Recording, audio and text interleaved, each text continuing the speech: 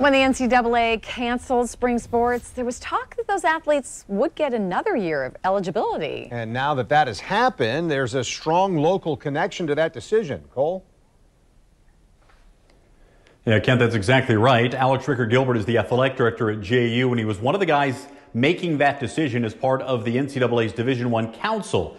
I spoke with Alex today, and one of the things we discussed was how this sort of move very quickly through the process. You may remember that the NCAA was one of the earlier sports organizations to cancel events when the coronavirus pandemic began to really show itself in the United States. Well, what's happened since is that spring sport athletes can get another year of eligibility. And Rickard Gilbert told me today that's a good thing for the student athletes and for JU.